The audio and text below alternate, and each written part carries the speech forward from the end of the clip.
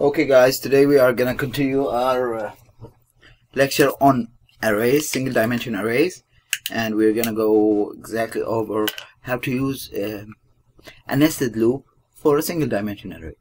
We used in the previous uh, examples, we used a single loop. Today we're gonna see the need for another extra loop when I'm dealing with uh, a single dimension array. And this example is going to be rearranging an array in an ascending or descending order. For example let's say we have an array. This is a comment. Okay I want to take a comment because the it doesn't show that good. Let's say we have an array 1 4 or let's put it 4 7 1, 12, and 5.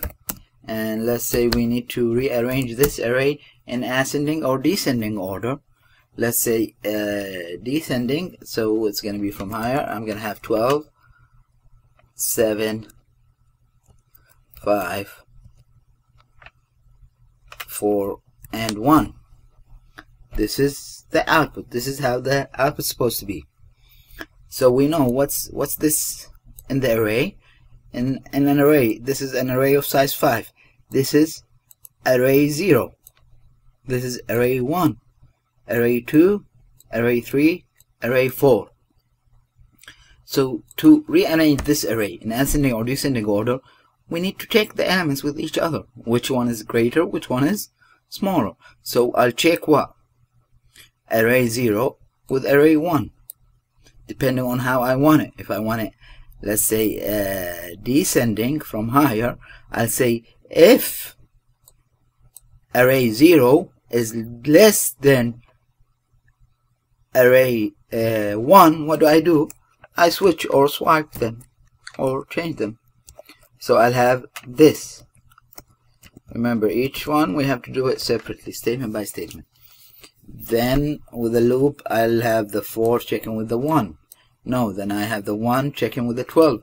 So what's going to happen? I'm going to have 7, 4, 12, and 1, and 5.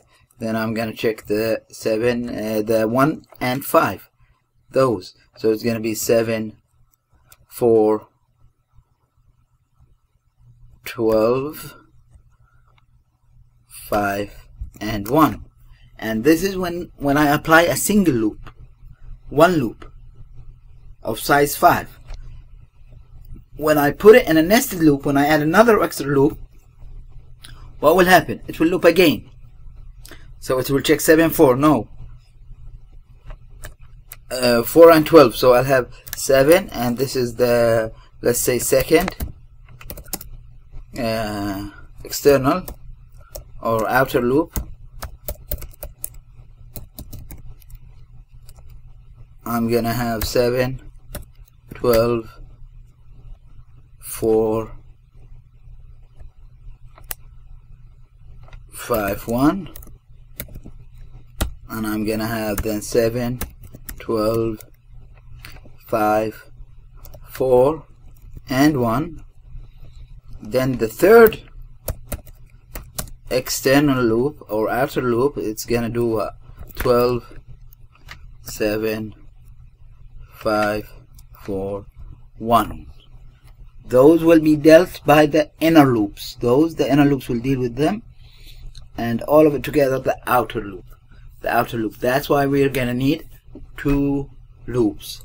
That's why we're gonna need two loops in this. So let's let's see. Let's say I have an integer my and let's give it a size of 10 and let's initiate uh, our numbers.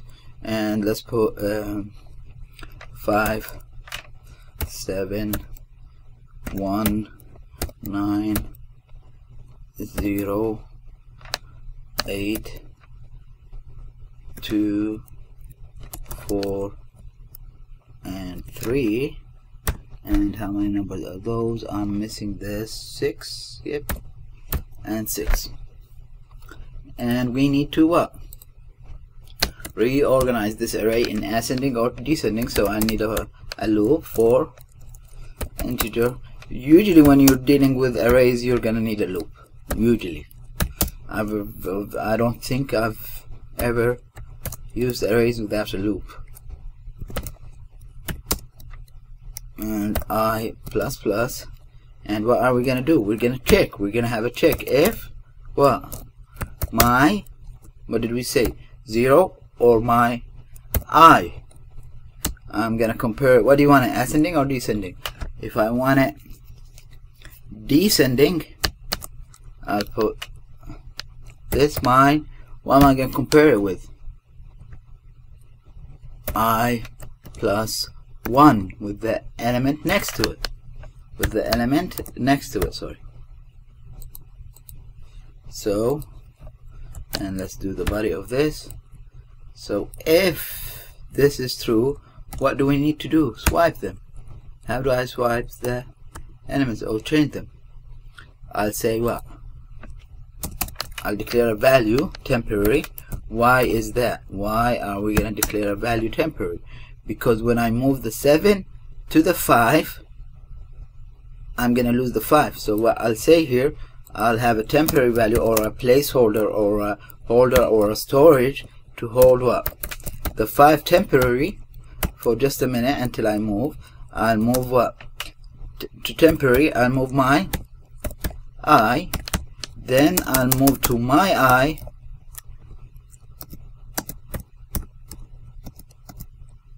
my i and move to it what? Uh, my i plus 1 the second number that I want to move. So here you should have what? Here you'd have like 7 7 and this in our case 1 9 0 and so on. So now what do we need to do? We need to bring what we put in temporary which we put the 5 in it. I needed to bring it where? Here. So I'll say what uh, my i plus 1 equals temporary.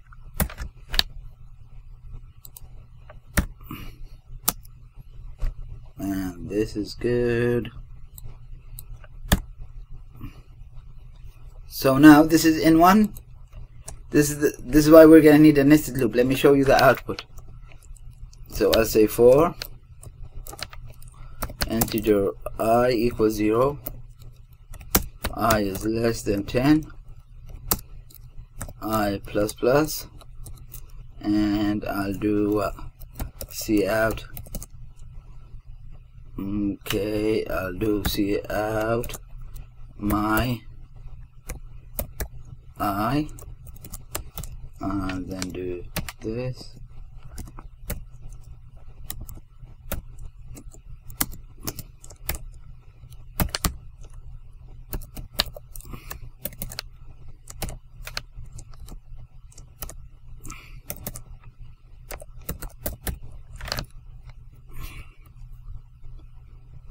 and here I'll do cout just to show us the array in a good manner.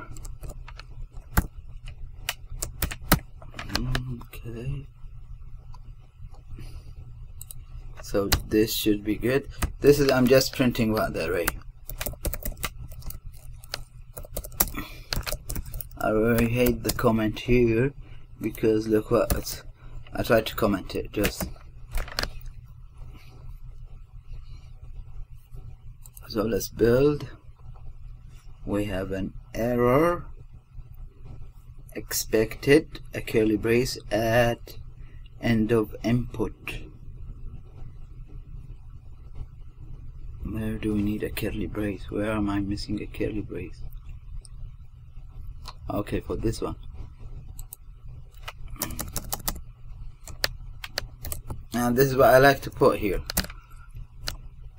End of if and this we can comment it and end of for on this we can comment so we can know where each curly brace ends at. And now we do a build and run and here's what we get. Let's see. I get 7 5 9 1 8 2 4 3 6 0 so it took 0 to the end but didn't take what? 5 it didn't take 1 so it's comparing only 2 so it took the 5 and 7 compared them. Put the 7 here the 5 here so I have 7 5 then what did it compare? It compared 1 and 9 move the 9 and 1 then what did it do? 0 and 8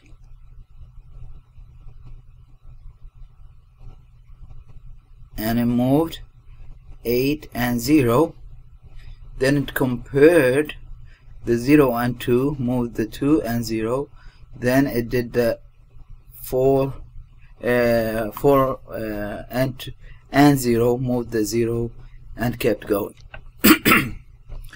Now a really important thing. Here I put 10 and we should have it as 9 why? Because I don't want it to go to my i to the 9 is it less than my i plus 1 which is 10 10 is the element here in memory whatever that was. If it was lower than 0 or whatever it's going to be included. So that might give you this won't give you a compile error. It will give you a wrong program. Wrong results. No errors. It will run. Remember there's no boundary checking in uh, C++ plus or C. Java they, they uh, it will give you an error. It will give you an error. But in C C++ plus it won't. But is the array organized? No. So what I need to do is add another loop integer array or equals 0 j equals 1 whatever you want it. As long as I as long as it loops uh, 9 times at least. At least because two numbers we don't need 10 so j less than 10 10 is not gonna harm here but it will add extra time one extra loop. That's the only thing it will do. So now let's check it again. And you can see nine eight seven six five four three two one and 0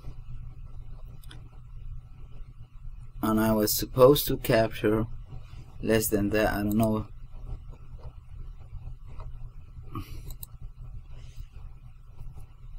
I hate using this.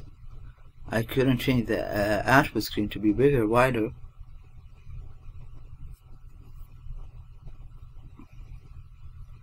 but let's do it again. And here we go. Let's see.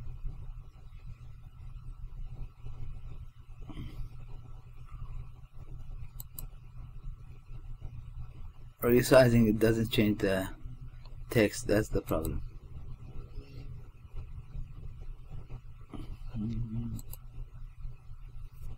I tried the setting I didn't find it but should be there but anyway now if I wanted to organize it in uh,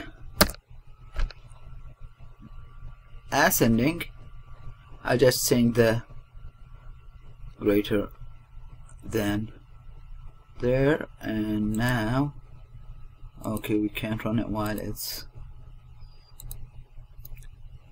and here we go. Zero zero one two See, it took the 9 out, it took an extra number.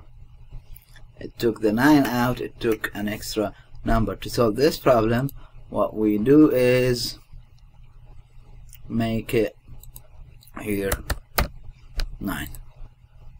Why? It took the, uh, the element uh, my 10 as 0. My 10 as 0. See now problem solved 0 1 2 3 4 I don't know if you can see it guys. Hopefully you can. But here it is. Thank you guys. If you have any questions please leave it in the comment section below. Remember guys C++ training. You need to practice every day. Best thing for programming. Best thing. Best is practice every day you can't go and three months during the summer you didn't do any practice come back and think you're gonna be as good as you were. No way. You need to practice it every day